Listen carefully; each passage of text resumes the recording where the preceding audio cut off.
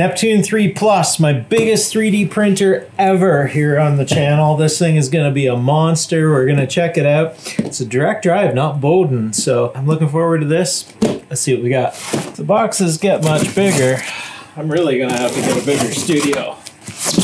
This was sent by Elegoo for me to check out. Uh, I do have some of their equipment here. You've seen it on the channel before. We've got the wash and cure station out in the garage, and uh, this is the Neptune 3 Plus. Wow. it's big. Packaging looks really, really good. Uh, as usual on the channel, I like to check it out. It's not a trivial thing, it matters. This one looks like it has come Everything is still in place. Nothing's been jumping around.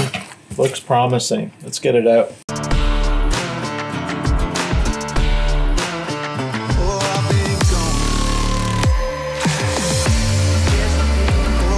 What a monster. it's basically fully assembled. There's not much to it. The gantry is fully assembled. There's two support bars, geez, it needs them. And uh, basic instructions. Instructions look amazing. I like these. Uh, you can tell at a glance that they'll be easy to follow.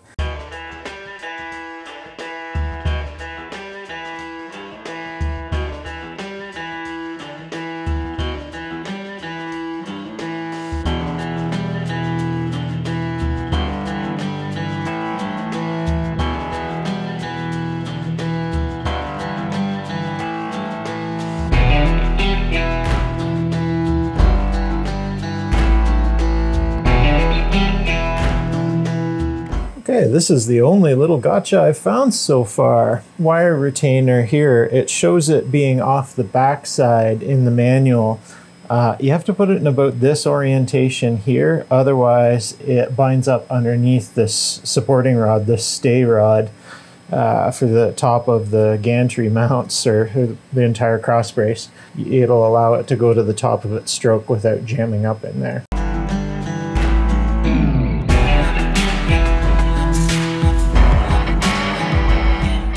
Okay, what I've done is I went through and followed the instructions exactly for leveling. It did a 46 point level, and now we're going to adjust our offset. And that is just about perfect. Maybe just one less. Yeah, one less. That's just right. And we're done point negative point 1.47 we're done. I've loaded up the little bit of filament that arrived with it. Uh, it's a tiny amount so I haven't even looked at what's on the SD card yet. Ran it through the run out the filament runout sensor and shove it through. Oh yeah. Just roll the knob and through it goes. And they definitely did a red print before. This, much like the Ender 3 was, is nearly silent. Uh, this, actually the Ender 3 is making more noise than this. I'll uh, do a little noise test later. Man, it's quiet. I'm liking this.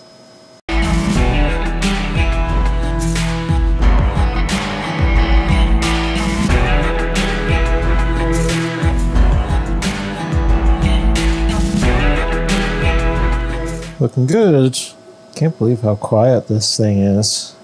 Wow. That. It's pretty cool. Looks like we might have enough filament too, which would be good. Okay. We have a print.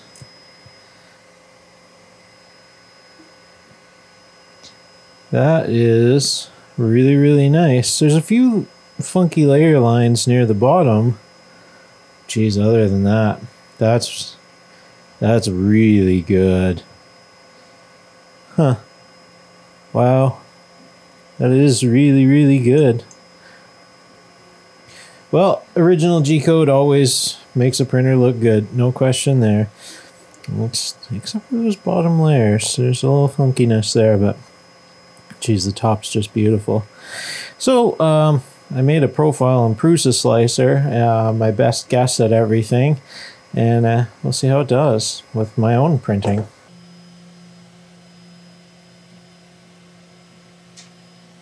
We'll see how this comes out, but let's check out one of the coolest features. We press the LED button, and we have LED lighting.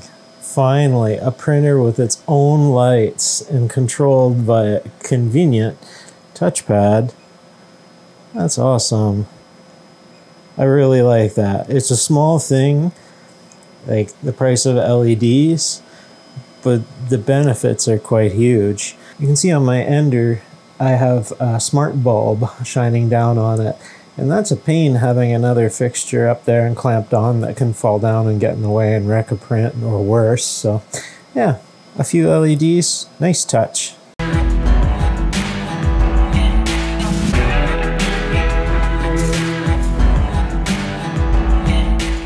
This is our result. Comes off perfectly easy. Beautiful bottom finish. And we did good. Beautiful finish. This will do. This is the finished part. Not bad for a first try. What I'll do is we'll try a benchy uh, just with the new profile and see how we did. Uh, I think everyone should try making their own profiles from time to time, honestly, because then you have a pretty good idea of where you started and you can modify it a much, much easier downrange to suit different problems and different styles of prints.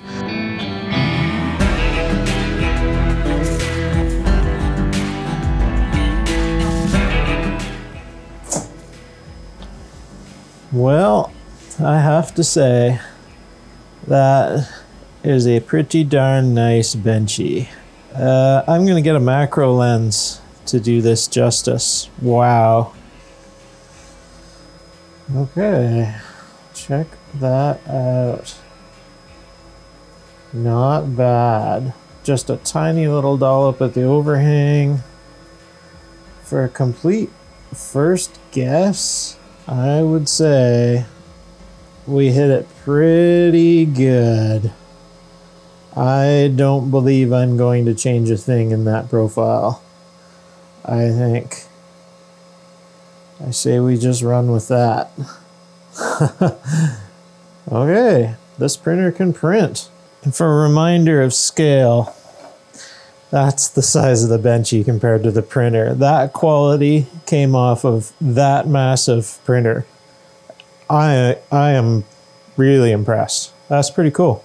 I had to shut this off early because apparently I turned off the supports by accident. I have to say, I'm pretty pleased with those. Uh, that profile I made is a winner. I don't think we can do a lot better. And here's the pegboard um, holders that I made for my lathe bits. And you can see there's no stringing between one tiny string. And that's it. So I think we nailed it. Oh yeah, we nailed it. That off of an extremely large format printer. And oh yeah, by the way, this filament is ancient. This filament is at least two years old and has been dried twice because it didn't print at all good. So I ran it through the SainSmart dryer twice. And uh, geez, I'm good with that. What do you guys think? Small stuff's really going to show the problems. Big ones are just going to end up wasting a lot of filament to get to the same conclusions. But yeah, I'm good with that. That's pretty cool. So we'll try some TPU and see how it does. And done. How'd we do? Absolutely lovely. That is a beautiful finish and our support material. This is always a little bit tight on any of my printers, but yeah, not too bad. Actually really good. Yeah, no issues there. I am able to get these pretty much the same results with my Bowden printer. Uh, same profile, but uh, yeah, pretty good. You can check out my video on the Ender 3 where uh, I get almost the same results. Actually, this is a little bit better. That's beautiful. happy with that. With the printer just finished the TPU, I'm hearing the power supply fan is the loudest I've heard yet, louder than when the thing was running. So that's a good time to take a noise reading.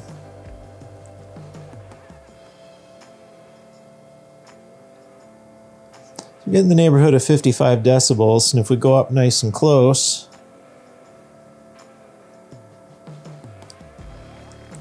we get 63. But realistically, what you're hearing is going to be from at least this distance. I'll take another measurement with it running. We'll see how that turns out.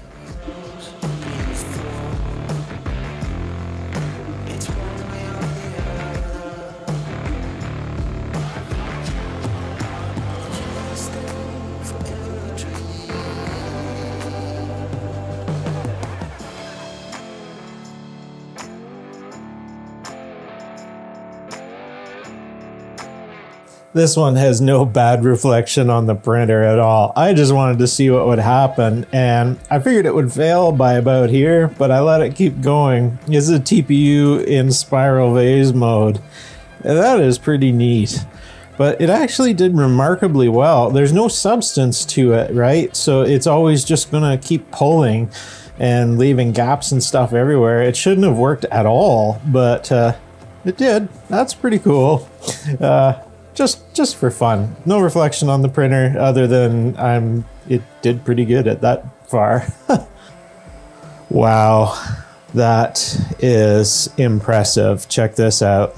This printer did an amazing job. Now remember, the print quality isn't a factor of the printer the print maximum quality is, but I have never once achieved maximum quality on any printer I own. I'm sure I am not that good. So that's my first spiral vase print on this printer. I think that brings the review to a close. Uh, this thing is going to get tons of use in my shop and it will go alongside the Ender 3v2, which is printing right now.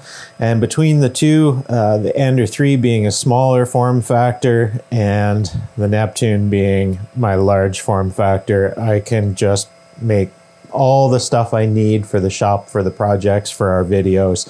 We should be in good shape. Just leave a thumbs up if you can. Really appreciate it.